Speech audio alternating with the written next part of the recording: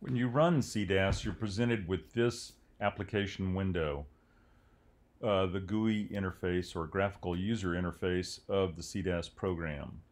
Um, I encourage you to make use of its uh, of the full screen uh, mode of this application because the GUI benefits from as much screen real estate as you can spare. Um, the screen's divided into regions.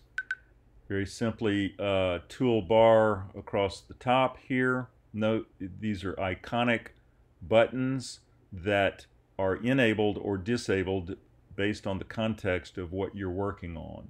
So under some circumstances, some of these buttons are available and uh, under others, they're unavailable.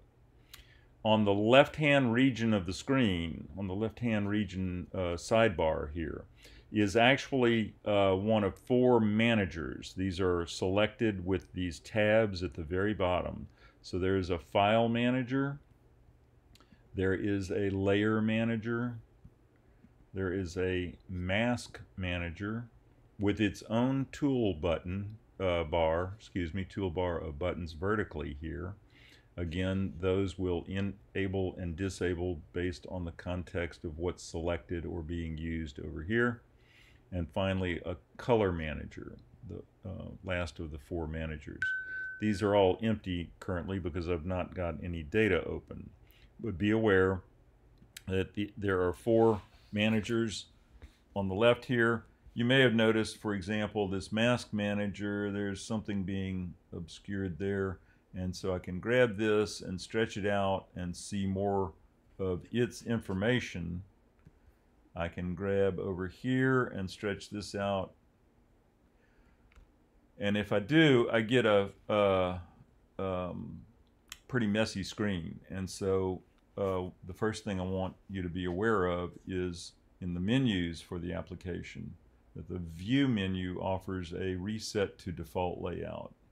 So when I click that, I always get back to a known configuration of the windows and the tabs.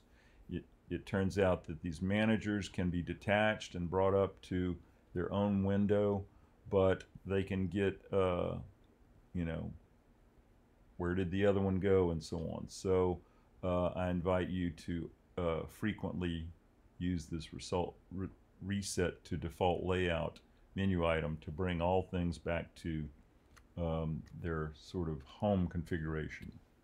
All right, so carrying on, this blue area in the middle is uh, where the data will be displayed when you open bands of data from data files. Um, and multiple bands can be displayed in separately tabbed windows. So we'll see an example of that, but there will be tabs across the top, one for each uh, window of data. Um, and it is in fact possible to side-by-side -side view and so on, but that, we'll get to that later. On the right-hand side are informational panels. There's a world map here when you have data displayed here, it's going to highlight in a little red box the area of the globe that you're actually looking at. There is information, the numerical information representing the lat long and pixel values and indexes into the raster of image data displayed in these panels on the right. There are uh, additional navigation controls to zoom in and out and uh, fit the data to the screen and so on. There are uh, many options there for navigation. We'll see some um, others as well.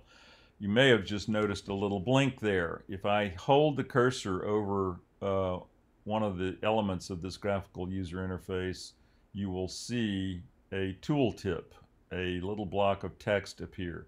Now I've got my cursor enormous here for the sake of video uh, presentation clarity, but with a normal size cursor you'd be able to read all of that text and that's helpful text to understand what is what is this button's function.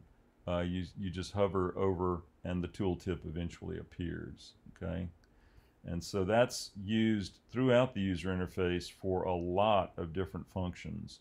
um, things that can do things, these buttons and so on. They all have a tooltip, so make use of those as well.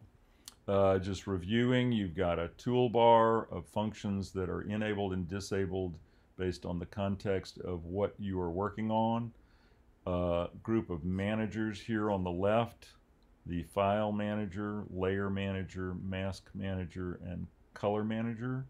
They may or may not have their own toolbar that applies only to the uh, information in displayed in that manager and uh, the display area and the information area. That's really all there is to the SeaDAS GUI. We will look at each of these um, elements in more detail in future videos.